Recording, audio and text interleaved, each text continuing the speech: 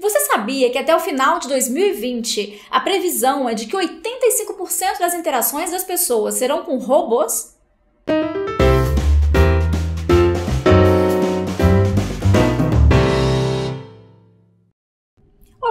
Bem-vindo para mais um Indigo Jam, nosso bate-papo virtual sobre gestão e liderança para um novo mundo. Eu sou Camila Pires, fundadora da Rede Índigo, e hoje vamos falar sobre uma questão que parece futurista, mas que é um desafio que já está batendo a porta dos líderes há bastante tempo, que é a convivência dos profissionais com os robôs no ambiente de trabalho.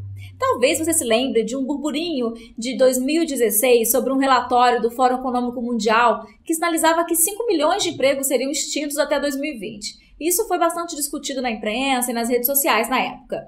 Essa informação que eu mencionei no início, de que 85% das interações das pessoas serão com robôs em 2020, é de um estudo recente do Gartner Group. E calma que isso pode ser melhor do que parece. Até 2019, o Gartner espera uma demanda de emprego crescente para as áreas de saúde e educação, por exemplo. Eu destaquei três previsões desse estudo para a gente analisar juntos. Em 2022, um em cada cinco trabalhadores envolvidos em tarefas não rotineiras dependerá de inteligência artificial para realizar um trabalho. Em 2021, a inclusão de inteligência artificial no negócio gerará 2,9 trilhões de dólares em valor comercial e recuperará 6,2 bilhões de horas de produtividade do trabalhador. E o ano de 2020 vai ser um ponto de virada, segundo o relatório porque o Gartner Group prevê que serão gerados entre 2020 e 2025 2 milhões de novos postos de trabalho. Ou seja, mesmo que nos próximos dois anos muitos empregos sejam extintos por conta dessa transformação tecnológica, a partir de 2020 essa balança volta a ser favorável, porque novos empregos também serão criados. Basta se lembrar que nem tantos anos atrás assim era um diferencial ter um curso de datilografia, lembra? Tudo que é novo e disruptivo gera ansiedade e medo de sair da zona de conforto. Mas os profissionais que se mantiverem abertos aos novos aprendizados e com iniciativa para pensar em novas formas para realizar as tarefas e se posicionarem como agentes de transformação organizacional, não precisam se preocupar com o futuro. Veja essa frase do presidente do Gartner Group. Infelizmente, as advertências mais calamitosas de perda de emprego confundem a inteligência artificial com a automação, que ofusca o maior benefício da inteligência artificial, que é o incremento gerado pela combinação entre inteligência humana e artificial, em que ambos se complementam.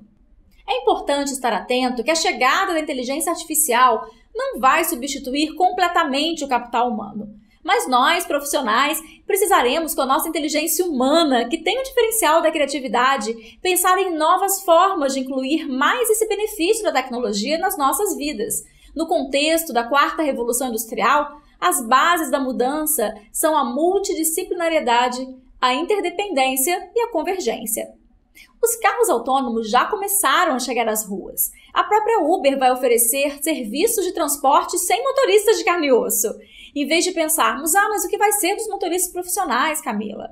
O emprego de motorista está ameaçado. Podemos pensar, nossa, quantos novos empregos vão surgir a partir disso? Desde serviços que podem ser oferecidos dentro do carro para quem precisa percorrer trajetos mais longos e agora não vai mais precisar prestar atenção no trânsito, até novos designs de veículos que possibilitem uma melhor interação entre os passageiros, além de aplicativos, acessórios, sem falar que serão abertas novas vagas nas indústrias de automóveis para quem vai pesquisar, desenvolver e produzir esses novos carros. Claro, tudo que envolve também logística, programação do software de inteligência artificial, análise de dados para inteligência de negócio, segurança da informação e também dos passageiros mesmo, engenharia de tráfego, machine learning e até novos modelos de negócios que podem estar mais baseados no deslocamento do que na posse do veículo.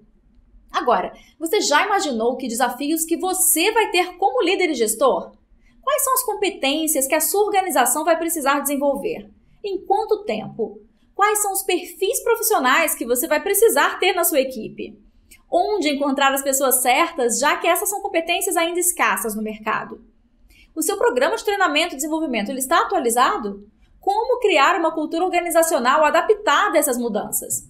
Essas e outras questões nós abordamos na Rede Índigo, tanto presencialmente com os nossos clientes, quanto por meio de conteúdos que produzimos gratuitamente enviamos por e-mail e também no nosso portal de cursos online. Se você quiser receber esses conteúdos em forma de textos, vídeos e infográficos e também aulas gratuitas periodicamente no seu e-mail, é só você se inscrever no link que eu vou deixar na descrição ou então diretamente no site redindigo.com.br. Para fechar o episódio de hoje, eu vou deixar com você uma reflexão. O futuro é cheio de oportunidades para quem está disposto a sair da sua zona de conforto e aprender constantemente. E se você gostou desse vídeo, me responde clicando em gostei e vai ser um prazer ter você neste grupo seleto de profissionais com quem compartilhamos conteúdos atualizados semanalmente. Até a próxima!